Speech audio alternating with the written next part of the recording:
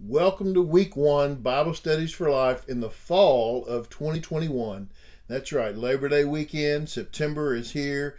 The weather is turning cooler. Not so much in Texas, but maybe where you are it is. Uh, so we're excited about having uh, this time together. Great, great studies that we're going to get to go through for the next three months. Really excited about looking at starting in First John and uh, one of my favorite books. I mean, just uh, maybe I say that a lot, but it really is one of my my favorite books to go through, and I think you're really going to enjoy this. So let's look at this passage. Uh, we're gonna we're gonna pick uh, a few pieces out of this that we really want to kind of put our emphasis on. He says, "This is the message we've heard from Him and declare to you: God is light, and there is absolutely no darkness in Him.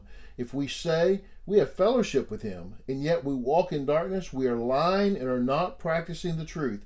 If we walk in the light as he himself is in the light, we have fellowship with one another, and the blood of Jesus, his son, cleanses us from all sin.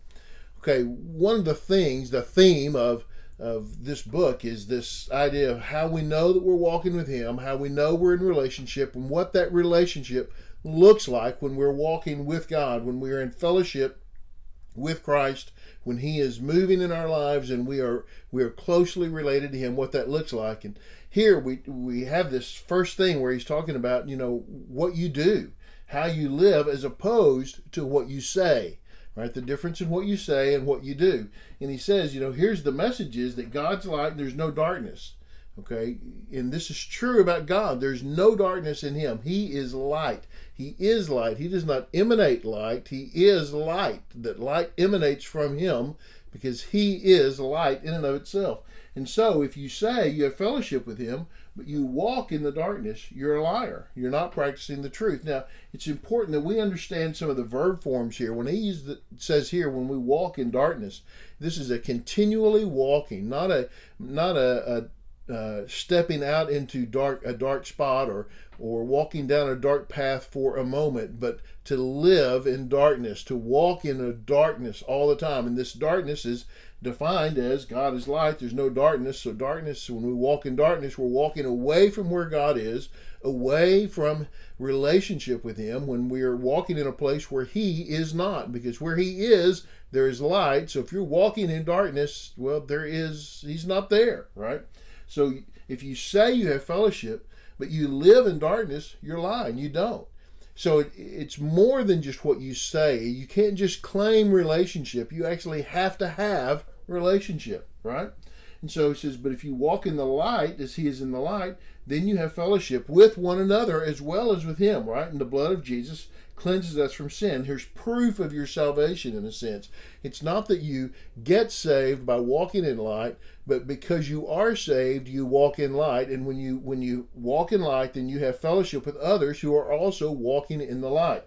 it, it is what you do not what you say or what you claim. So here's the setup to it. And and of course one of the things that John's going to emphasize to us is that there is sin, right? And and we we can't just live in sin. If you're living in sin, then you then you're showing that you don't have a relationship. There's evidence being brought forth here. Okay.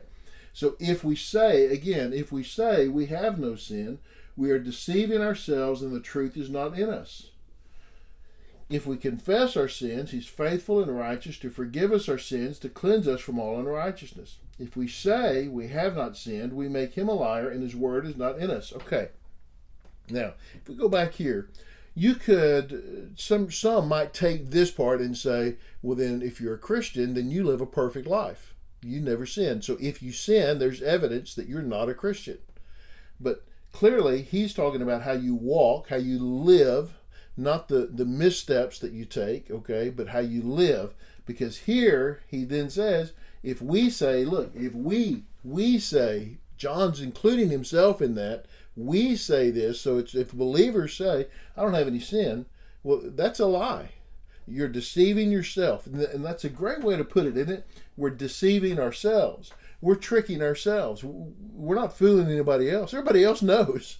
Everybody else knows what's going on in our life. They see it. We're just fooling ourselves, right? There's no truth in us. But if we confess our sins, so here the the the um, exhortation is not to um, that you that you have to live a sinless life. It is that you need to recognize when you fall, when you sin, and confess it. That is to say the same thing as to agree with God about what you've done. Yes, that was sin. Not to make excuses for it, to rationalize it. Well, it wasn't that bad. It's okay. Not that at all, but to recognize, yes, it was sin. I did it. I committed it. It was wrong. We confess our sin. Then God is faithful and He's just, righteous. He'll forgive us. This is 1 John 1 9. If you memorize a verse in 1 John, if you only know one, you ought to know 1 John 1 9. He will, he will forgive us and cleanse us from all unrighteousness. That God cleanses our lives, right? But if we say we haven't sinned, again, this repeat, right? Well, we make God a liar because God says, I know your sin. God knows that all have sinned and fall short. We all sin.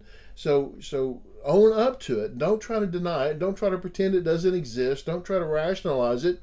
Just say, yeah, it was a sin and confess it and go on with your life and your walk with God. But if you're going to walk in the middle of that sin, if you're going to live in that sin your whole life, you're going to walk in darkness, then what you're giving evidence of is not that um, that well I speak a good game and that's really all that matters. You're giving evidence that you don't actually know God at all.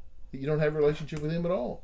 So it's interesting, isn't it, that that it's almost like the, those who sin and admit it and know it and then confess it, those are the ones who have a relationship. Those who have sinned but won't admit it, they don't, right? My little children, he says, I am writing you these things so that you may not sin. But if anyone does sin, we have an advocate with the Father, Jesus Christ, the righteous one. He himself is the atoning sacrifice for our sins, and not only for ours, but also for those of the whole world. Listen, it, it, it's very clear there is forgiveness, mercy, grace is offered to us in the person of Jesus Christ, right? He says, I'm not writing this to you so that you'll never sin because I know that's not going to happen if if your expectation is now that I'm a believer, I won't sin anymore, well, you're going to be you're going to disappoint yourself. Okay, nobody else is going to be disappointed. They're all going to know they know what the reality is, but you're going to disappoint yourself, and you're going to live with a guilt that may be hard to deal with. He, He's saying, "I'm not writing this so that you may not sin, but if you do sin, and that can be if and when you do sin." We have an advocate. Jesus Christ is our advocate. He's on our side. Jesus is on your side in this. He goes before the Father and he says, My sacrifice, my life sacrifice paid for that penalty, paid the penalty for that sin.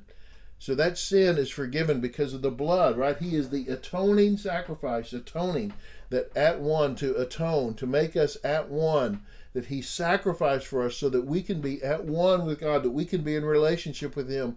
This is the joy of forgiveness. This is the gracious generosity of God's grace and forgiveness to us is that we are we are forgiven and that he makes us at one, he brings us into relationship with him in spite of our sin. Not because we have rid ourselves of sin, but but in spite of it because of the sacrifice of Christ who paid for it. He paid for ours. And then this is key not only for ours but also for those of the whole world.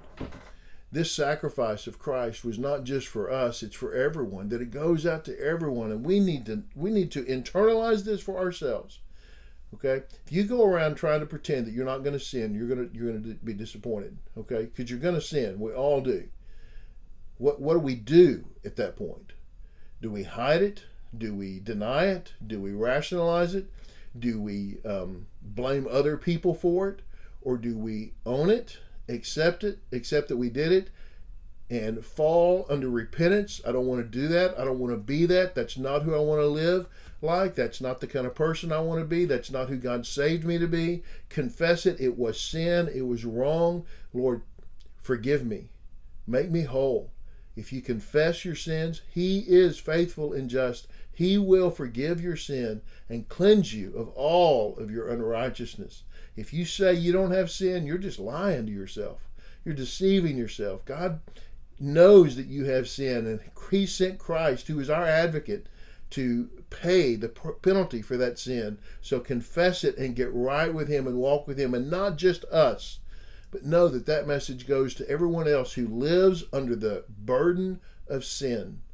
Because everybody has the sin. Everybody has that burden of sin. And what how do we get rid of it? There's only one way, and that's through Christ.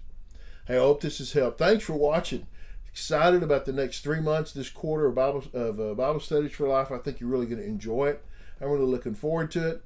Uh, like, comment, let us know how this is working uh, for you. Um, share it with others. Subscribe to the channel if you haven't already. Subscribe to our channel because we're going to have a great next three months. All right. We'll see you next week.